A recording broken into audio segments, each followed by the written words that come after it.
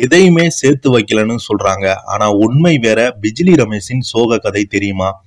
அவங்களே தனியார் யூடியூப் சேனலுக்கு கொடுத்த பேட்டி சோசியல் மீடியாவில் வைரல் ஆகி வருகிறது. அதில் அவருடைய தற்போதைய நிலை குறித்து கண்ணீர் மழுக பேசியிருக்காரு. வாங்க என்ன தகவல்னு இந்த வீடியோவில் முழுமையாக பார்த்து தெரிஞ்சுக்கலாம். அதுக்கு முன்னாடி நம்ம சேனலை சப்ஸ்கிரைப் பண்ணாதவங்கெல்லாம் சப்ஸ்கிரைப் பண்ணிக்கோங்க. பெல் பட்டன் சிம்லமிக்கி நம்ம சேனலோட நோட்டிஃபிகேஷனை எனபிள் பண்ணிக்கோங்க. நாங்கள் போடுற வீடியோ பார்த்தீங்கன்னா உங்களுக்கு உடனுக்குடனே வந்து சேரும். வாங்க என்ன தகவல்னு இந்த வீடியோவில் பார்த்து தெரிஞ்சுக்கலாம். ஒரு பிராங்க் ஷோ மூலம் வெகு பிரபலமடைந்தவங்க தான் பிஜிலி ரமேஷ். அந்த பிராங்க் வெளியான சமயத்தில் சமூக வலைதளங்களில் கொண்டாட்டக்கூடிய நபராக மாறினார் ரமேஷ் அவர்கள். அதன் பிறகு காத்து வாக்குல ரெண்டு காதல் உள்ளிட்ட சில படங்களில் நடிக்கவும் செய்தார். தற்போது அவர் கொடுத்திருக்கும் பேட்டி பலரையும் கலங்க செய்திருக்கிறது. சமூக வலைதளங்களில் பெருகிவிட்ட காலம் இது.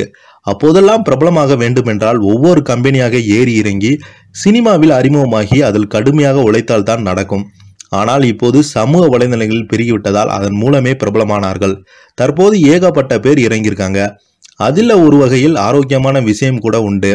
சமூக வலைதளங்களின் மூலம் பிரபலமானவர் ஏகப்பட்ட போர் இருக்காங்க.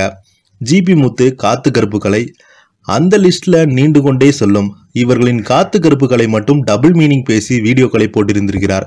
அது கண்டனத்தையும் சம்பாதித்தது. அதனையடுத்து அப்படி செய்வதை கொஞ்சம் கொஞ்சமாக குறைக்க ஆரம்பித்திருக்கிறார். ஜிபி முத்துவை பற்றி சொல்லவே வேண்டாம். டிக்டாக்கில் பிரபலமாகி பிக்பாஸில் கலந்து கொள்ளும் அளவுக்கு சென்றார். மேலும் சில படங்களில் நடிக்கவும் ஆரம்பித்தார் அப்படி சமூக வலைதளங்களின் மூலம் பிரபலமானவர்களில் ஒருவர் தான் பிஜிலி ரமேஷ். தனியார் யூடியூப் சேனல் ஒன்று பொதுமக்கள் பிராங்க் செய்வதை வழக்கமாக வைத்திருக்கிறது. அப்படி அவர்கள் சராசரியாக பிராங்க் செய்ததன் பிஜிலி ரமேஷ். அதில் அவர் பேசிய விதம் அவரது நடவடிக்கைகள் அனைத்துமே சமூக வலைவாசி தலைவாசிகளில் பெரிதும் கொண்டாடப்பட்டது. இதனால் ஓவர் நைட்டில் ஃபேமஸ் ஆனார் பிஜிலி ரமேஷ் அவர்கள். பிரபலமாகிய பிஜிலி ரமேஷுக்கு பட வாய்ப்புகளும் கிடைத்தது. அதன்படி நெல்சன் திலீப் குமார் இயக்கத்தில் வெளியான கோலமாகு கோவிலா படத்தில் நடித்திருந்தார். பிறகு விக்னேஷ் சிவன் இயக்கத்தில் விஜய் சேதுபதி நயன்தரா சம்மந்தா உள்ளிட்ட நடித்த காத்துவாக்குல ரெண்டு காதல் படத்தில் நடிச்சிருந்தாங்க. தொடர்ந்து தனியார் சேனல் ஒன்று நடந்த குக் வித் கோமாளி நிகழ்ச்சியிலும் கலந்து கொண்டாங்க. சூழல் இப்படி இருக்க கடந்த சில காலமாகவே பிஜிலி ரமேஷ் பற்றி எதுவும் தெரியாமல் இருந்தது. இந்த நிலையில அவர் சமீபத்தில் மனம் நொந்து ஒரு பேட்டி அளித்திருக்காங்க. அந்த பேட்டி பேசிய அவர் சினிமாவில் நான் லட்சக்கணக்கில் சம்பாதித்த போல பேசுறாங்க.